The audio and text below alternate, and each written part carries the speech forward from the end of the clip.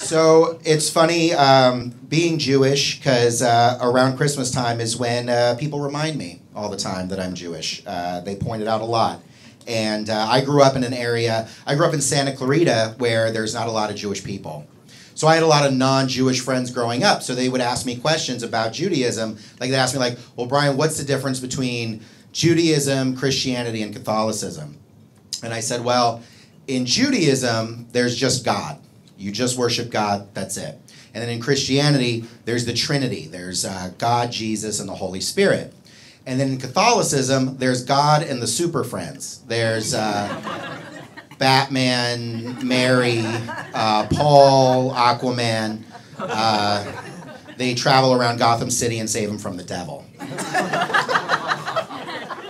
But I didn't really know that much about Judaism uh, until, well, I didn't know that I didn't know a lot about Judaism until someone asked me what the um, significance of circumcision was.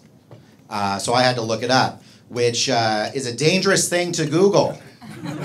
I get a lot of interesting emails now that I don't need because I'm Jewish. Anyway, um, so I didn't know. I had to look it up, and so what had happened was is that Abraham, God had said to Abraham that if you and the Jews want Israel, you would have to become circumcised. All the other Jewish men had to become circumcised, and all of your descendants had to become circumcised as well. And that makes me think that God didn't want them to have it. And he thought, what's the craziest I could ask these guys to do? They would never do in a million years. You know, because he wanted the Palestinians to have it. What crazy And I'm sure Abraham told those other men, and at least one man was like, This place isn't that nice. That was the first atheist.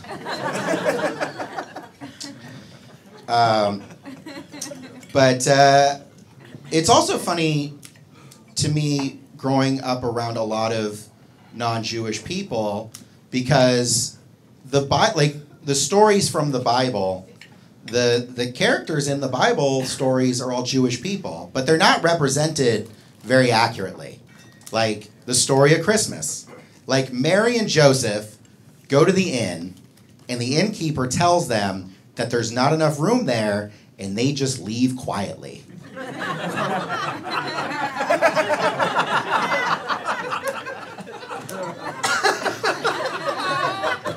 now, you guys are all Jewish. So you know that that's not the way it happened. Not even a name drop, not even like, do you know whose baby this is? It's not his. Thank you guys so much. I'm Brian Jacobovitz. Thank you.